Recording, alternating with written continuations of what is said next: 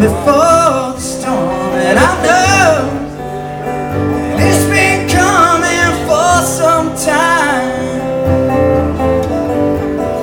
When it's over, so